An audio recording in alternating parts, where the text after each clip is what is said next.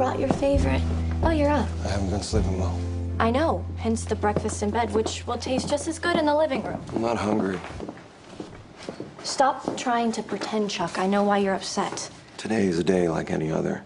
In fact, I'm going to a meeting. I'm looking at a property in the Lower East Side. I can't be resting on my laurels. The Empire's doing well. It's time to look ahead. Well, since I canceled my day, I'm now completely free. So I'm coming with you. Um, this building is a homeless shelter. A, gross, and B, really? I'm not a huge advocate of the downtrodden, but I am a fan of not stepping on them when I'm at John Darien. If you turn these in the lofts, then where are they going to live? I don't know, Blair. One step at a time. The owner of the building's waiting inside with the specs. I- I'm sorry, far be it from me to be overcome with a holiday spirit, but this whole Scrooge act, you should be at home today or laying flowers on your father's grave. I know today is the anniversary of his death.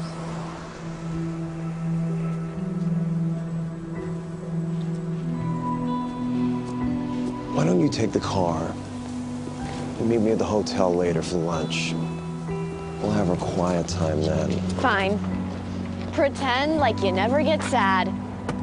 And all you care about is making more money. But just so we're clear, I know better. And you, Chuck Bass, are not your father. I know.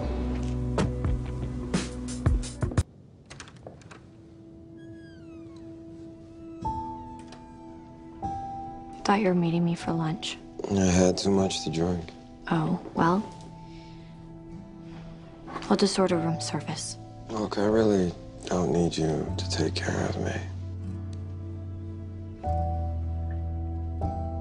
I know how hard it was for you to let your guard down, to let me in. You've changed.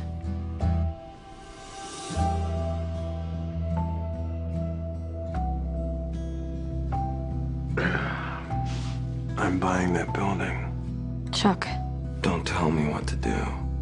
I'm not. Just talk to me.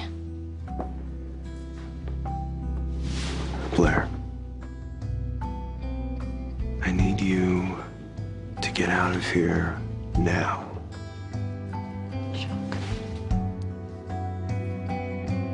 Now.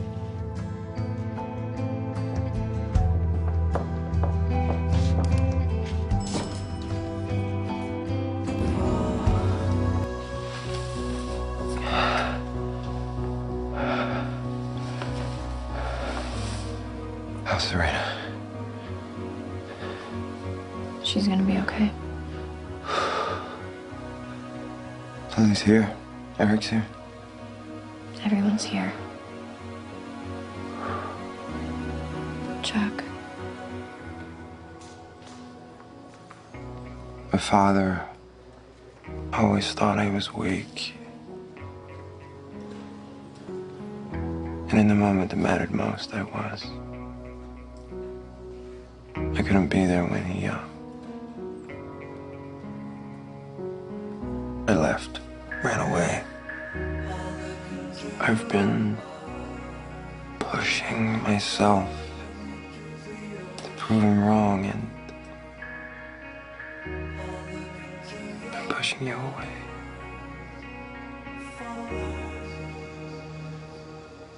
I don't think you ran away because you couldn't handle death. I think it's because you couldn't handle feelings. But you're not like that anymore. You're strong. You carry people. You carry me. You're becoming a man in a way that your father never was.